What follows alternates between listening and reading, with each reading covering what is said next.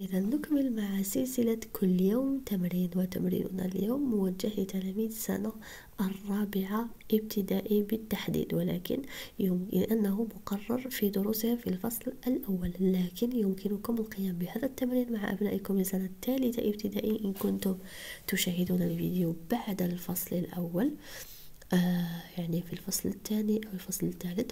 وتلاميذ السنة الخامسة يمكنكم القيام به كمراجعة آه لما لا إذا نبدأ في التمرين جو كلاس أو صنف إذا nous avons ici un tableau لدينا جدول فيه défini et indéfini معرف et نكرة معرفة نكرة défini indéfini défini indéfini معرفة نكرة voilà donc nous avons ici des mots عندنا هنا كلمات le la un une les des الأبوستروف هذه الكلمات هي ماذا هي عبارة عن des articles و des articles ماذا هي des déterminants إذا les articles هي نوع من les déterminants في اللغة الفرنسية إذا لي ديتيرمينون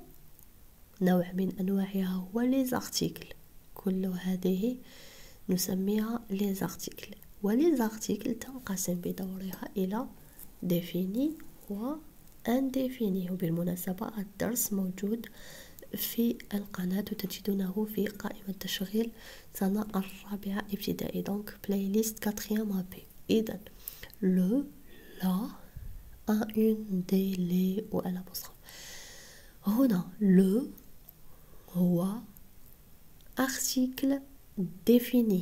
إذا نكتبه هنا. عندما يصنفه ابنكم إذا يجب أن يعرف متى نستعمله. متى نستعمله؟ إذا نستعمله للمذكر المفرد في حالة المعرفة. حسنا إذا نكمل. لا. لا.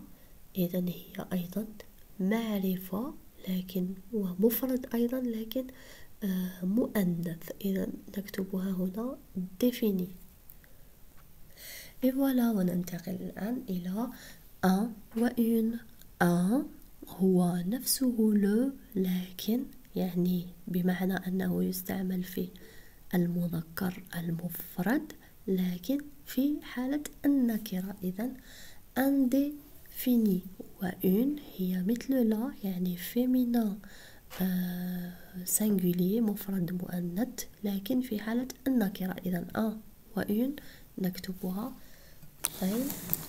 هنا في indéfini نكتب un و une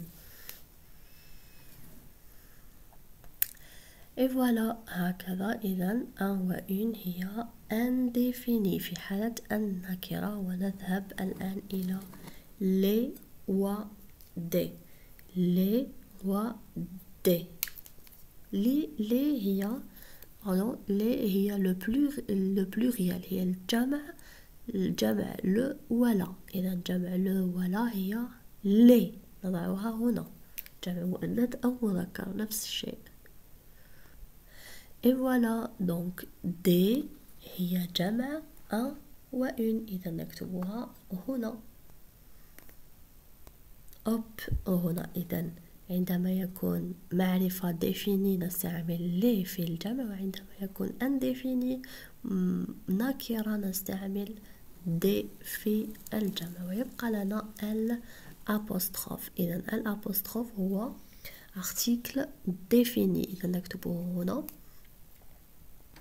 إذا إن كنتم تعرفون استعمالات l'apostrophe فاتركوا لي في التعليقات كلمة تحتوي على l apostrophe إذا متى نستعمل l'apostrophe نستعملها عند المعرفة.